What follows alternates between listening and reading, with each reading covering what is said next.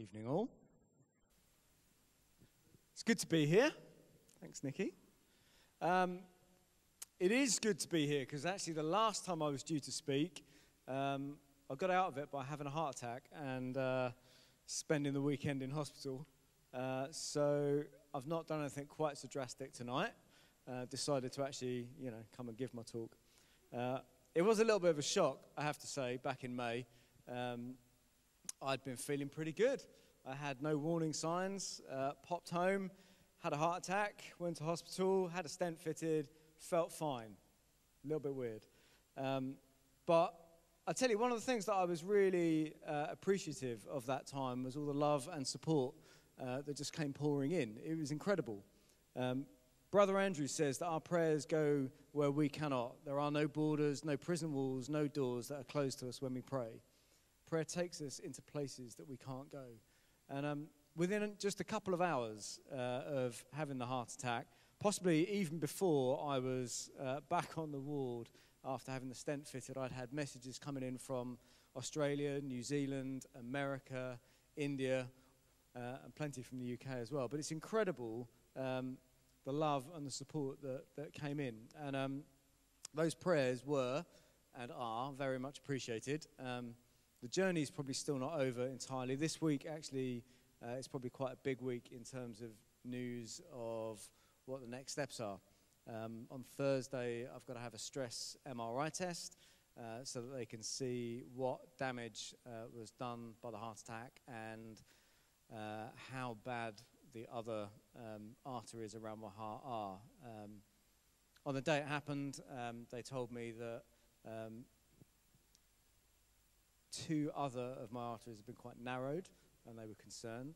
Um, as I uh, was discharged from the hospital a couple of days later, I was told that the damage to my heart was moderate to severe uh, in my left ventricle. So, um, your prayers would be appreciated. Um, it's quite interesting, you know. I, have always wanted to be a walking miracle, so it'd be quite nice if I uh, if I go to the scan and they find that my heart is fitting well, the arteries are completely clear, and the stent they put in has disappeared miraculously. That'd be quite nice. So you could be praying for that. Um, that would be good. Having something like a heart attack or any other um, potentially life affecting or life threatening incident is quite a revealing process. Um, I'd always hoped, and you're probably like this as well, you'd always hoped that um, you wouldn't fear in situations like that where there's the possibility for death. You wouldn't be afraid. You'd be thinking, I'm going to glory, um, or whatever it might be. You know, we, we, can think about it and reason about it logically, can't we? That um, I'm saved. I have eternal life bought for me. Um, I don't need to fear death. And you, you, know that. And then you hit a situation and you wonder whether you will or won't fear. And um, I wasn't fearful which is nice to be able to say. Um, but I don't think it particularly was uh, because I was thinking, yes, my life is secure and eternal life is secured. I think it's because I never thought that this was it. I never thought life was over. Um, and I think as I reflected on it, I had a month off um, after having had the heart attack. And as I was reflecting on it, as you do, you tend to think about these things. Um, I think part of the reason um, was because I still think I have a purpose. Scripture tells us that um, we are made for purpose, um, and I still have a part to play. Now, that's not to say that I'm going to get to the end of my life having achieved everything I ever wanted, or all the dreams I've got are going to have come to pass, or all the promises God over my life will have come to pass, because some of those are bigger than my own life and probably will span beyond my life. But I still feel there is a part for me to play. There is still something for me yet to do in the purposes of God. And it's certainly not that the heart attack wasn't serious. Um, it wasn't one of those things where you think, oh, I'm not going to die because it's not actually that bad. Um, on this side up here, that is the artery coming in and the blood just stopping at that point. Uh, and the next one, after they fit the stent, the blood flows quite nicely. Um, and once again, my heart is able to uh, have the blood and the oxygen that it needs. Um, so it, it seriously wasn't because it wasn't a minor, you know, it was just a minor thing. It wasn't a minor thing. Um, it is, I think, because I, I feel this sense of calling and destiny over my life. Um, and I'm not done with it yet, which is good to know, hopefully. Uh, Ephesians 2:10 says, uh, "For we are God's handiwork, created in Christ Jesus to do good works, which God prepared in advance for us to do." There is a plan for each of us, a purpose for each of us, a calling and a promise over us. And it's stated slightly different in different translations. Uh, in the New Living Testament uh, translation, rather, it says we are God's masterpiece. And that we've got good things to do instead of good works, but they were planned. In the NASB, we are his workmanship, created for good works, prepared beforehand so that we would walk in them. And it doesn't matter which version you go and look at, the reality is that we are created by God in Jesus to do good works or good things that God has prepared for us to do. There is no exception. There is no escaping it. There is no one here that can say, I don't have a purpose or I don't have a part to play in God's purposes. All of us have got work to do, and it is good work. Work that we were created for. And we weren't just created in any haphazard way for it either. We are God's masterpieces. Masterpieces are not things that are a little bit shoddy, are they? Everyone knows what a masterpiece is. It's exceptional. Each of us has been created exceptionally well for the good works that God has prepared for us. Only I can do what God has planned for me to do. Only you can do what God has planned for you to do. We are his workmanship, his handiwork, which means he was intimately involved in our creation. His hands upon us, shaping us, forming us into his perfect masterpieces. I know what you're thinking. You're looking at me again. You're a masterpiece. I'm thinking about all of you too. I'm thinking about all of you too. But the truth is, no one and nothing could be better to do the work that God has in mind for you than you. No one and nothing that God uh, could do better work that God has in mind for me than me. And I love this verse because I know that I have struggled with it, uh, with this kind of thing. I've struggled with the tendency to compare myself to others, thinking I should have achieved more by now. I had my 40th birthday earlier this month. It's one of those milestones where you begin to think, what have I really done? What have I still got left to do? And you can get into. I, I had a friend who literally every year on his birthday had a crisis like this. He began to think like that. And um, it was crippling, I tell you. If we find ourselves comparing ourselves to others and what other people have done and achieved or how they are, it becomes crippling to who God has made us to be.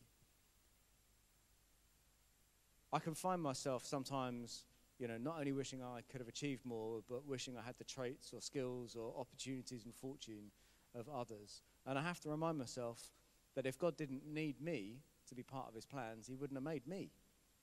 There's no point comparing ourselves to other people and thinking, if only I were more like them. Because if God wanted us more like them, he would have made two of them and not one of them and one of me or one of us. I could wish I was more like Nikki the ability to woo people, to win them over. But to be honest, if I was doing that, I'd be doing her job. I'd be doing her work. And I wouldn't be fulfilling what God has got for me. I could wish I was more like Paul and had, you know, influence and opportunity in the city. But let's be honest, that creates a lot of work, and we don't need twice that, do we? Imagine what this church would be like with two Paul Woodmans. Paul might think it's the dream, but the rest of us, whew. Or I could wish I was more like Katie, having that ability to dance like she does, or more like Hannah, being able to sing the way she does. But to be honest, I'd probably look and sound a bit strange if I was a bit like them. I could wish I had, you know, a good, thick head of manageable hair like Andy at the back over there. I can't see anything wrong with that wish, actually. I'm, I'm, I'm, I'm wanting that one. But the truth is that there's nothing wrong with wanting some more of these things. I might want to have uh, the ability to win over, over, win others over. I might want to have more influence. I might want to be able to dance better and have better hair. I'm not sure that one's going to happen. It's, it's, thinning, if anything. Um, but I, I sh- my desire for those things shouldn't be, I wish I was more like Nikki or more like Paul or more like anybody else. Because the reality is, if I pursue those things in God, if I pursue uh, influence or the ability to win o- other o- others over, I can't say that tonight, can I? Or wanting more wisdom, I shouldn't be thinking I want wisdom like Bev. I want wisdom like something higher than Bev. I want the wisdom of God in my life. I want the ability that God has to win others over. I want his level of influence. And I may not have it quite up to that level, but that is surely what we should be aspiring to. Not comparing with others who have a different calling, a different purpose, and are created as their own masterpiece for that calling. I want to encourage us because we are each perfectly and wonderfully made for the good works that God has in store for us. We are the good works of God. We are his masterpieces made to do good works. We get to replicate the good stuff that God has put in us. We get to take that into the world. I want to encourage us to not fight it, to not pursue uh, being like somebody else, but to be encouraged to be ourselves. No one else can be you, no one else can be me. And we are necessary to the plans and purposes of God. So these good works that are prepared for us fit primarily, uh, I guess, this is our, our nice, neat new vision document. You can grab copies out the front if you haven't got one. Um, but they fit primarily in our missional discipleship and our creative solutions strands. These good works are the kind of outward expression, if you like, of what God has done in us. And they are an expression of our uh, passionate worship for God, but they are about going beyond ourselves and beyond our relationship with God to impact and affect and influence others. Our work is purposeful, it is to replicate heaven on earth.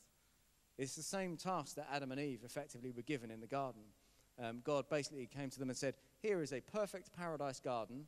Take what you see, take what you have in yourselves, and go and replicate it in the rest of the earth. Tame that which is wild. Bring order from chaos. Replace the turmoil with peace. Overcome what looks like despair with hope. Conquer any fear with love. You know, when we aren't living aligned with those purposes that God has for us, we find, uh, and those things that we were made for, uh, when we begin to try and maybe live like others or, you know, try and be somebody we're not, we find, maybe subtly at first, but we find uh, that we miss out on the fulfillment that God has for us. We can trick ourselves into thinking we've got that through other things, but we tend to find we lose our peace. Hope begins to diminish, faith is lowered, and we miss out on our purpose and our satisfaction and our joy. But more than that, because each of us has a part to play and we're part of a body together, if we don't do the thing that we're called to, the body misses out. The purposes of God miss out. It says here in Ephesians 4:16, he makes the whole body fit together perfectly. As each part does its own special work, it helps the other parts grow so that the whole body is healthy and growing and full of love. There is a real responsibility on each of us to live out the calling that God has on us. To not try and live like somebody else, but to live out who we are called to be, to step into the good works that God has prepared for us. Because if we don't do our bit, other people miss out and the world lacks. If I don't do my bit, it says that others won't grow in the same way. The body won't be as healthy, and love will be slightly less than full. Each of us contributes. Your contribution is missed if it's not brought. God created us perfectly suited to do the good works. Nobody else can do it we all have to do our part. So, what does that look like? What does it look like for each of us? It will be different. We are unique, but I think understanding what our passions are, understanding what our natural talents are, looking at the spiritual gifts maybe that God has given us and graced us with. How do our spiritual gifts match with our natural talents? Are there ways in which they sit on top of one another? What opportunities do we have for us that meet with our passions? Because I think it's as we look at some of those things, we begin to find the thing that causes our heart to sing, and we begin to find some of that purpose and the good works that maybe God has for us. And I'd like to encourage us to maybe explore some of those things. If you don't know what those good works are, if you're not sure what that calling is, spend some time. Ask God, well, what is it that I'm really passionate about? What makes my heart sing? What am I actually good at? How does that fit with the opportunities I've got and where God has placed me? In um, 2 Timothy chapter 2, uh, Paul writes this It's quite long. I'll read it quick. He says, Keep reminding God's people of these things. Warn them before God against quarreling about words. It is of no value and only ruins those who listen. Do your best to present yourself to God as one approved, a worker who does not need to be ashamed and who correctly handles the word of truth. Avoid godless chatter, because those who indulge in it will become more and more ungodly. Their teaching will spread like gangrene. Among them are Hymenaeus and Philetus, Philetus, I don't know, it doesn't really matter, who have departed from the truth. They say that the resurrection has already taken place, and they destroy the faith of some. Nevertheless, God's solid foundation stands firm, sealed with this inscription The Lord knows those who are his, and everyone who confesses the name of the Lord must turn away from wickedness. In a large house, there are articles not only of gold and silver, but also of wood and clay. Some are for special purposes, and some for common use. Those who cleanse themselves from the latter will be instruments for special purposes, made holy, useful to the master, and prepared to do any good work. Flee the evil desires of youth and pursue righteousness, faith, love, and peace, along with those who call on the Lord out of a pure heart. You know, right at the beginning um, of what Paul wrote there, there was an encouragement to keep reminding one another of these things. It's not an individual sport. We're designed to do this together as a body, as a team. It goes on to explain that a pure heart and pure living allows us to be used by God in extraordinary ways for special good works. Works we were made for. Works that will ultimately bring us uh, joy and fulfillment as well. But it's clear also, I think, from the beginning of the verse, that our pure heart and living is not just about our actions, but stems from our identity in Christ. Demonstrated by right belief in the finished work of Jesus and his promises towards us. You know, we present ourselves before God as an approved worker because that is what we are. We have been approved before we've done anything. Before we go into service, we're approved for it. In right belief about what Jesus did on the cross, the resurrection power at work in our own lives, the eternal nature of our future, uh, and many other things, the promises of God over us, we are enabled then to live pure lives. It begins to flow from our identity. It's not the other way around. Trying hard to be pure in order to be used by God is not grace. It's works and it fails. But the opposite of living pure lives is also true. You know, if we engage in godless chatter, the scripture says, believing less than the truth, then we begin to live like it. We begin to become more and more ungodly. The identity that we live with is of vital importance. If we are truly to step into the good works that God has created for us, the masterpiece that you are to do the works that God has created for you, and the masterpiece that I am to do the works that God has created for me, I need to understand my identity in that. I need not be insecure looking around at others, but understand that God has placed in me something only I can bring into the situation.